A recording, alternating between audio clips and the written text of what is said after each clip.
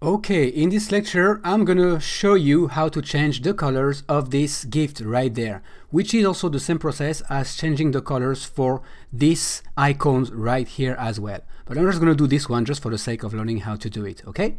So, go back to your source code, and at the root, if you look for the graphics folder, you will see inside the iPad slices and iPhone slices. I want you to expand it, just right click there, on the iPhone slices one and show in Finder. Obviously, you will have to do that for the iPad as well, okay? But right now, I'm just showing you for the iPhone. But this is the exact same process for the iPad. All right, so click on the iPhone slices and make sure you put this view so you can see the items within, okay? So all of these are just PNG files, okay? That, that are part of the, um, the uh, game source code graphic assets. All right, so we technically have to look for the gift. Okay, so um, take a look at the gifts on the iPhone simulator. So it's basically a white gift with a blue outline, and that's the one we're gonna need to change. All right, so um, that's a, that looks about being the right one. Okay, so we're gonna change this one. There's the Retina display, that's the at 2x, and the non-Retina display, that's just packages. Okay, so packages and packages at 2x. So I'm just gonna open the packages at 2x.png and modify this one only, okay? Open with Adobe Photoshop. Now, if you do not have Adobe Photoshop, don't worry about it. You can always get it online. Uh, there's like a, a, monthly fee that you can pay to just to be able to use it. Or you can use one of uh, the equivalent, which is totally free. It's called gimp.org, okay? You go there, you download it. It works on Linux, um, Unix machines, Windows uh, computers and obviously Mac computers. Okay, just click on download and there's plenty of tutorials online, but it's exactly the same process as what we are doing there. All right. So once I see this, what I'm going to do is click on the uh, eyedropper. And the shortcut is the I key. Okay, but I'm just going to show you by clicking on the eyedropper.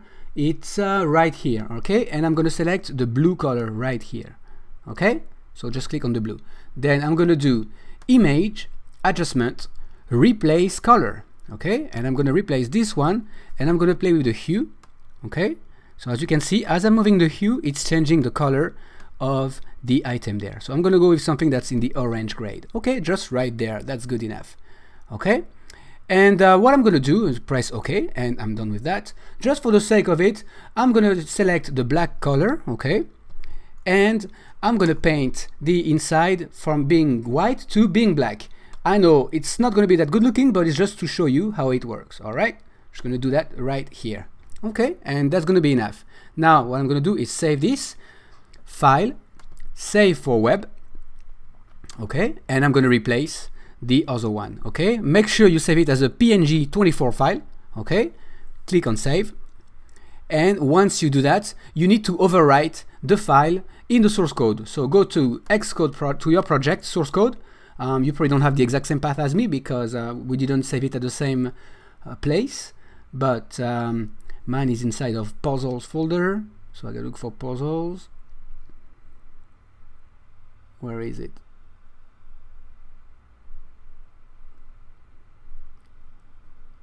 Hmm, for some reason I can find it. Give me a second. There it is. Puzzles. Okay. Words app fresh. That would be inside of graphics. iphone slices. And that's where it needs to be saved. Packages at 2x okay. So graphics iphone slices. Save. It's gonna ask you you sure you want to replace yes replace. All right. Now we're gonna save it without the at 2x so half the size for non-retina display file. Save for web. And right there we're gonna do percent 50 percent. So half of it and save. All right? And we're going to replace the packages without the add to X and click on save. Okay? Replace. Alright so I'm just gonna stop here. That's enough. Now we can go back to Xcode. Now what you need to do in Xcode is do a product clean. Very important. If you do not do a product clean then what's gonna happen is that your uh, changes will not be um, you will not be able to see your changes. Okay? So do a product clean and then click on run all right, so that might take a little bit longer because it basically needs to take all the files to, and, comp and compress them together, okay? But uh, just bear with me and we will be able to see our new changes. Alright, so meanwhile, while it's building, I'm to show you that the other files on the home screen are obviously the uh, settings and uh, the, uh, the money currency one. So just look for them in the Finder. It's pretty straightforward to find them. So look for the, um, the settings one. Um, obviously, the settings is called settings. Where is it? I don't see it right now. There it is, okay? So obviously you have the settings navbar at 2x and so that's the retina and the non-retina, okay? And uh, this one is the settings when it's paused, so you can change the color or you can just leave it the way it is.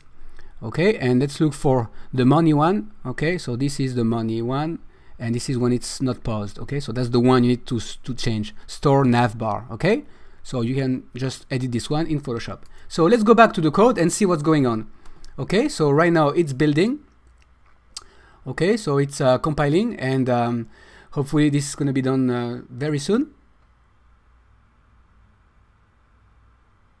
okay so just bear with me and we're going to be able to see our changes